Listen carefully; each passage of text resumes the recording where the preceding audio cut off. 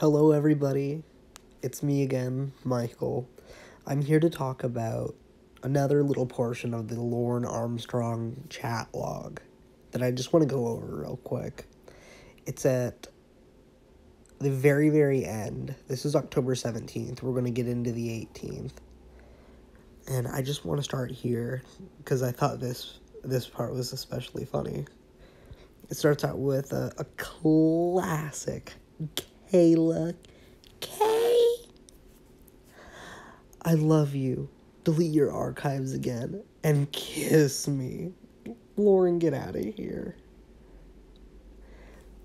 And then we get another K and a little kiss. Smiley. Good night, my precious. I love you. I'm done. Night. Skip ahead. We have Lorne telling her to go straight to bed. She says K again. And then Lorne hits back with a, okay, one more look before bed. Whoops. Looks like you turned it off already. Sherry Twist was gone. She was like, it's time to go to bed. And then this is the meat and potatoes. This is the supreme with pineapple that I wanted to talk about.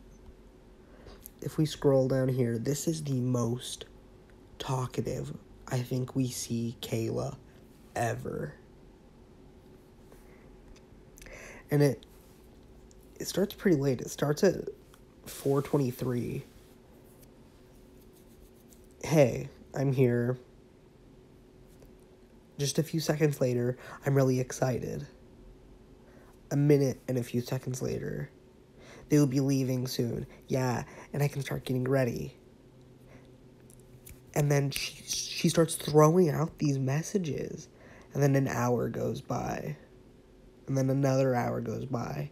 Wish my BF would get home from work soon.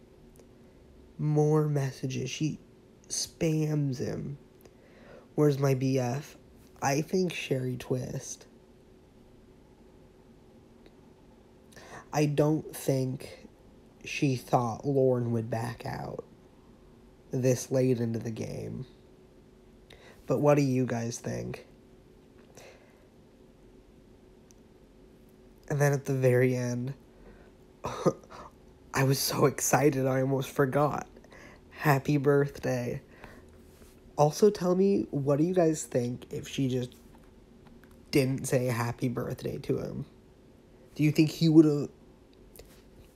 It's obvious he would have brought it up himself, but I, I wish. I wish Casey would have would have just waited and maybe said it when she had him there at the house. Anyways, I just wanted to go over uh, little uh, Kayla, chatty Kathy over here with all these uh, messages. I just thought it was fun. Anyways, I hope everyone is having an awesome day, and I'll talk to you guys later. Bye.